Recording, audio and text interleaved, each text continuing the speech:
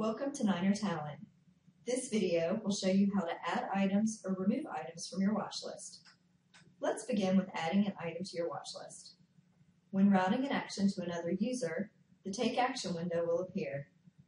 Click the checkbox beside Add this position Request to your watch list, below the comments box in the Take Action window.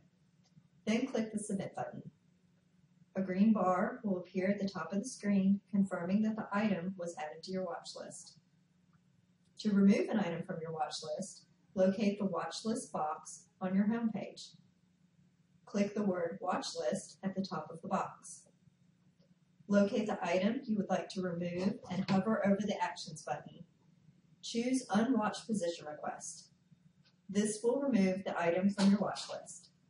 For more information on Niner Talent, please visit hr.uncc.edu.